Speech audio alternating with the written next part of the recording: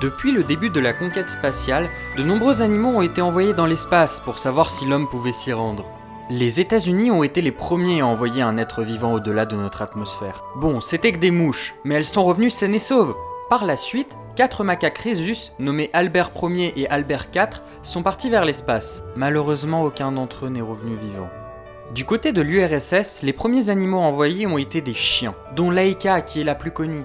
Les soviétiques ont aussi envoyé des lapins, des rats, des mouches, des souris, et même deux tortues, qui sont revenus d'un voyage autour de la Lune en 1968.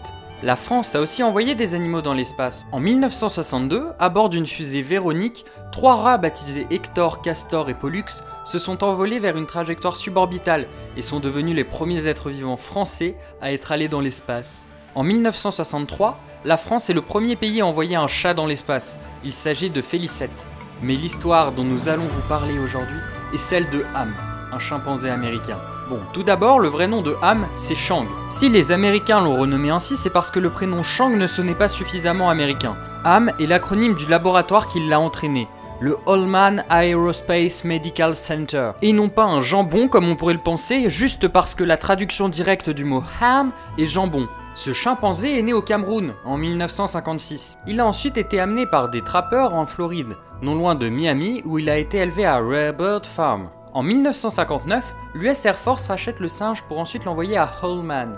Arrivé à Holman, Ham a été sélectionné parmi 40 chimpanzés pour s'entraîner à la condition d'un vol spatial.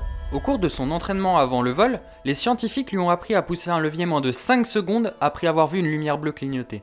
Ce qui différencie la mission de Ham de tous les autres vols de primates jusqu'à présent, c'est qu'il n'était pas simplement un passager. Les résultats de son vol d'essai mènent directement à la mission qu'Alan Shepard allait effectuer le 5 mai 1961, pour la mission Mercury Redstone 3. Le 31 janvier 1961, Ham est engagé dans une mission du projet Mercury, appelée Mercury Redstone 2. Elle sera lancée depuis Cap Canaveral en Floride pour un vol suborbital.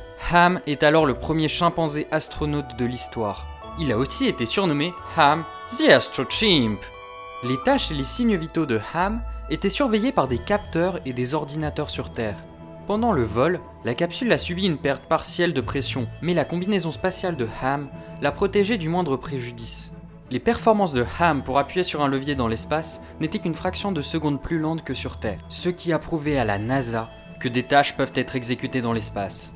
La capsule de Ham a améri dans l'océan Atlantique après 16 minutes et 39 secondes de mission et a été retrouvée par un navire de sauvetage plus tard dans la journée.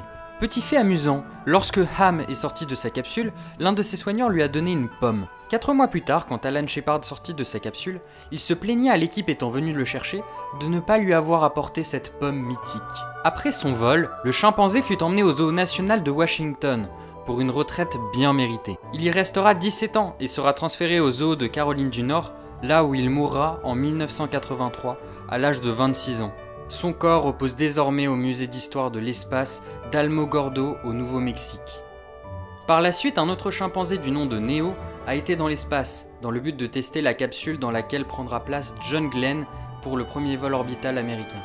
Les animaux envoyés dans l'espace nous ont permis de faire quelques découvertes scientifiques, comme en 2007 lorsque des tardigrades ont survécu à des radiations cosmiques et au vide spatial, ne présentant à leur retour aucune altération biologique.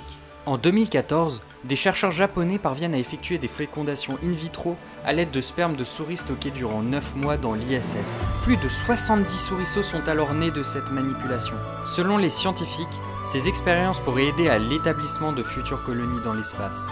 Merci à tous d'avoir regardé cette vidéo. Je vous invite à nous suivre sur Twitter et si vous souhaitez participer à la création et à l'élaboration de nos vidéos, rejoignez-nous sur Discord, le lien est en description. Sur ce, salut tout le monde